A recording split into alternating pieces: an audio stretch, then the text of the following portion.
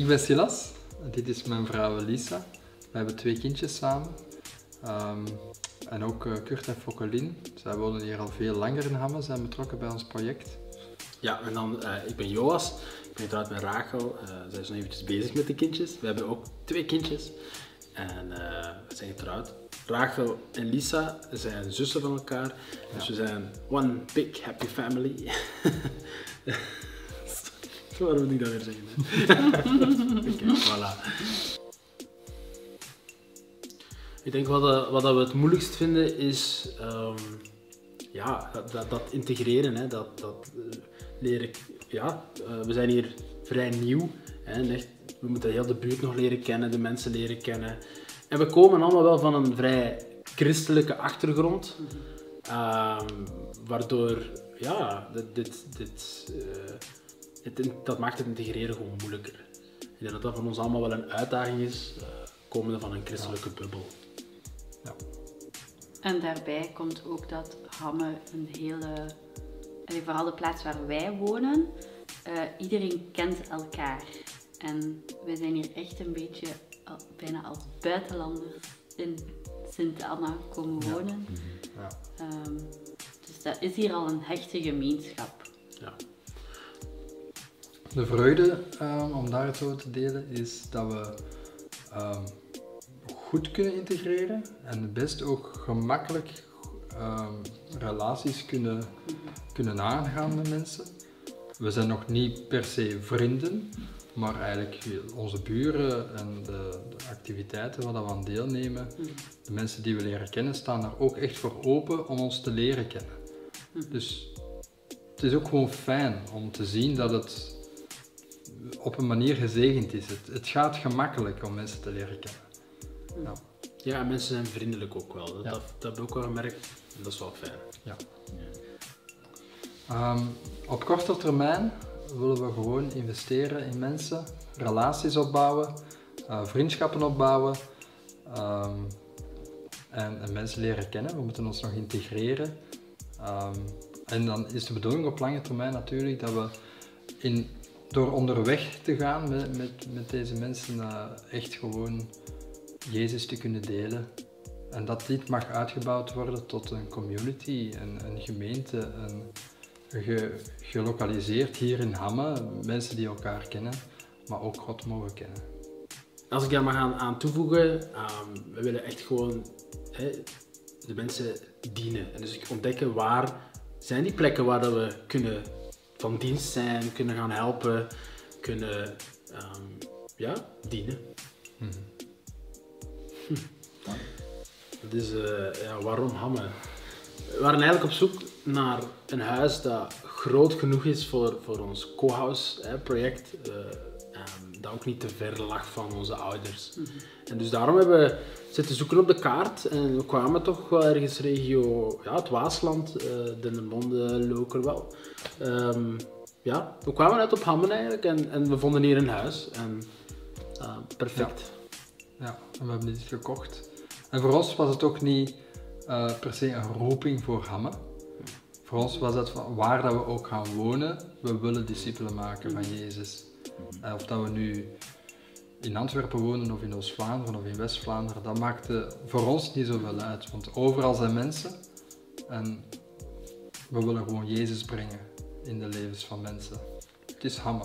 Hamme is eigenlijk als je een driehoek zou tekenen tussen de steden Brussel, Antwerpen en Gent, dan ligt Hamme ongeveer in het midden.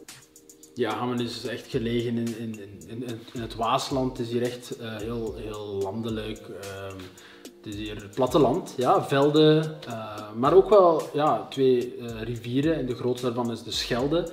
Ehm, maar de zijtak daarvan, de Durme, dat is echt de rivier die langs Hamme loopt. En ja, dus je hebt hier ja, boeren ehm, en ook een stukje stad natuurlijk, het centrum van Hamme. Ehm, maar Hamme bestaat uit ja, verschillende kleine dorpjes, echt boerendorpen. Ehm, en ehm, voor, ja, samen vormen ze met het centrum Hamme. Te integreren hier in Hamme is, eh, ja, het is een beetje uitdagend, omdat, we dat, omdat het een, een, een vrij hechte groep is hier, zeker waar we wonen in Sint-Anna. En we hebben ook ja, twee jaar corona gehad, dus het is moeilijk om, om buiten te komen en naar activiteiten te gaan.